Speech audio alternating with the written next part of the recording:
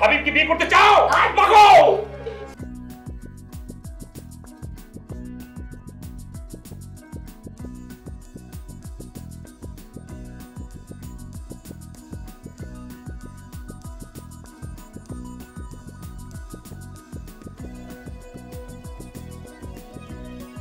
আপনি কি আপনার ফালতু কথাবার্তা বন্ধ করবেন? বাদ দিন। আমাকে একটা স্ট্রেট পয়েন্টের কথা বলেন। এই যে আমাদের টিমে যেসব ঘটনাগুলো ঘটছে। মানে এসবের পিছনে আসলে ওদের মূল উদ্দেশ্যটা কি বা কি কারণ করে সেটা কি আপনি আমাকে বলতে পারবেন? মূল উদ্দেশ্যটা খুবই স্বাভাবিক স্যার। রিন আর হাবিব এই দুজন যে বিষয়টা নিয়ে ভয় পাচ্ছে এটা যেটা আমরা দুজন ওদেরকে ডেকে বিয়ে দিয়ে দিই। হোয়াট কি বলেন আপনি? Yes sir. এটা হচ্ছে ওদের হিস্টোরির মূল রহস্য। আপনার এই কথা শুনে আমার কি করতে ইচ্ছে করছে জানেন? কি স্যার? ইচ্ছে করছে আপনাকে জোরে কষে একটা চড় দিই। চুপ থাকুন কথা বলবেন না please. Sir sir sir Riya যেন কেমন করছে স্যার? কি হয়েছে? কেমন যেন অ্যাবনর্মাল অ্যাটিটিউড করছে। চলো দেখছি।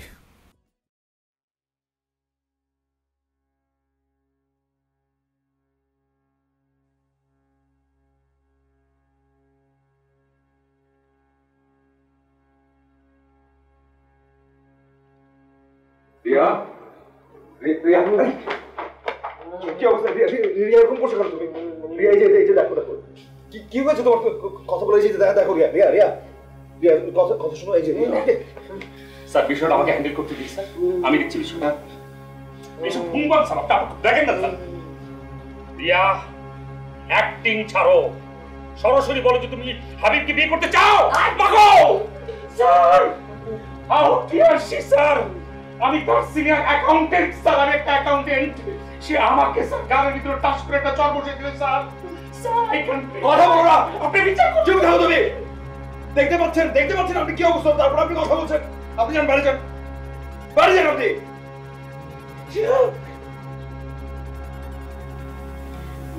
রিয়া রিয়া রিয়া রিয়া রিয়া রিয়া এই যে দেখো এই দেখো আমি আমি আমি আমি- রান যে এই যে এই যে এইখানে এদিকে রিয়া রিয়া রিয়া রিয়া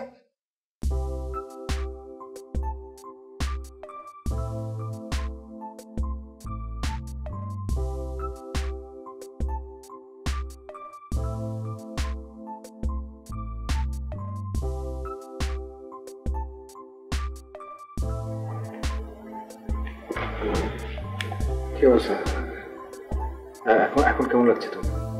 ভালো না। পেন হচ্ছে এখন?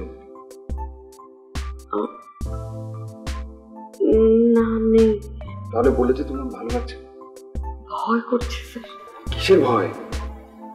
আমাকে নিয়ে যাবে। ভয়ের কোন কারণ নেই? ওরা কারা? তুমি আমাকে বলো ওরা কারা? জানি না। ঠিক স্পষ্ট বোঝা যায় না কেমন যেন কালো রঙের আলকাল্লা পড়া থাকে ইয়ে এক- একটা জিনিস বলতো যে ওরা আসলে দেখতে কেমন? তবে মেয়েটা খুব ভয়ঙ্কর। খুব। ওই মেয়েটা আমাকে বারবার শুধু ডাকে বলে আয় হায় মেয়েটা দেখতে কেমন?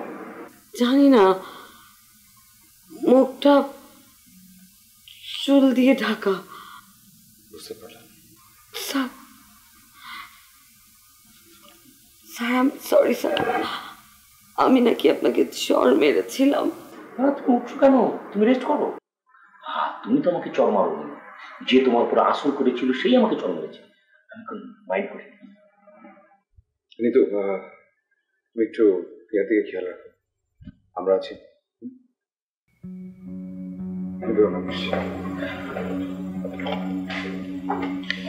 আমি I 师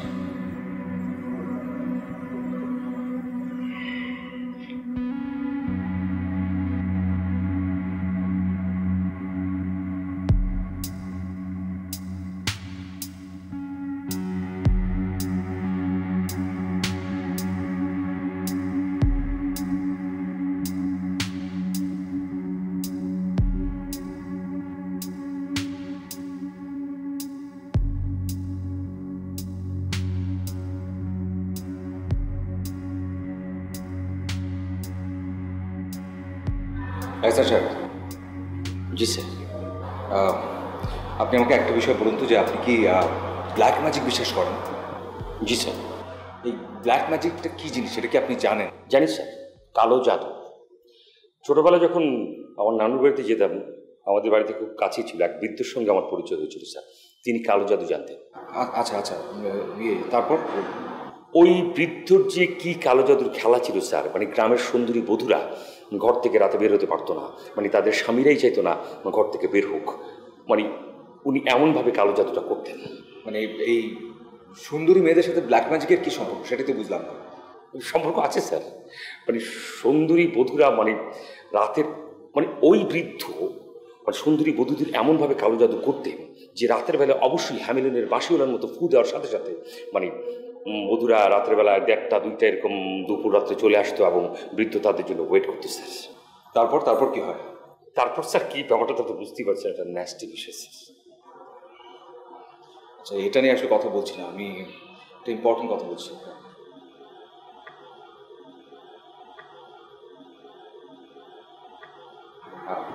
মানে কেন যেন আমার মনে হচ্ছে যে রিয়াকে কেউ ব্ল্যাক ম্যাজিক করছে। হতে পারে স্যার। এ বিষয়ে আমার কোনো সন্দেহ নেই আমি বিশ্বাস। করি। কারণ ওই বৃদ্ধ বৃদ্ধ হয়ে একশো ছয় বছরে পরিণত হয়েছে। এখনও মনে করেন, স্যার, কালো জাদু করেই যাচ্ছে, রস এখনও কমে গেছে please thank you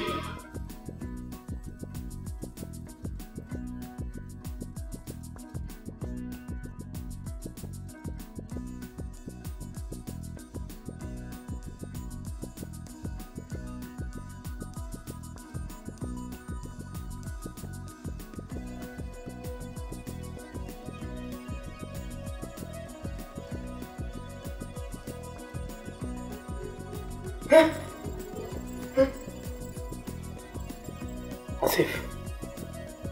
Asif. Asif. বিড়ালের ডাক শুনতে পাচ্ছিস? বিড়াল ডাকতেছে।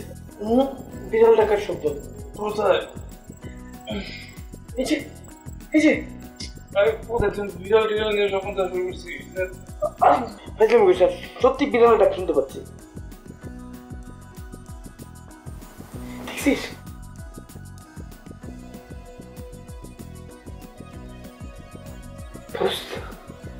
দোস্ত আমার কাছে কিন্তু আলামতটা সুবিধা মনে হচ্ছে না। কিসব তো মনে নেই? হাবিবও তো এরকম বিড়ালের ডাক শুনেছিল। তারপরে দরজার মধ্যে ঠক ঠক দরজা খুলে দেখে পেতনি। আরে দূর বউ পেদিন দেখতে ওটা ওর ব্যাপার। ও ও- ওর কেস তো আলাদা। ও তো বিড়ালের ডাকের পর কুকুরের ডাক শুনছিল।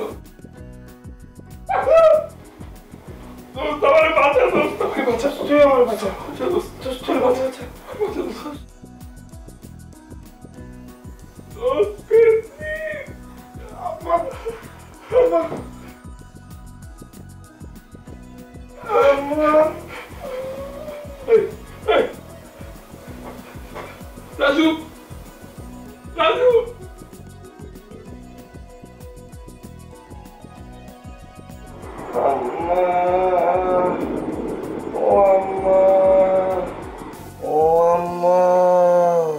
আমি তোমার আম্মা না রাজু? আমি অ্যানি তোমার কলি।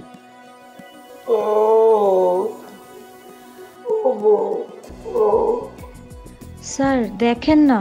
কি কি যেন বলছে। আচ্ছা বলতে দাও না এখন অসুস্থ সুস্থ হোক তারপর বোঝা যাবে কি বলছে। এখন সেবা করো প্লিজ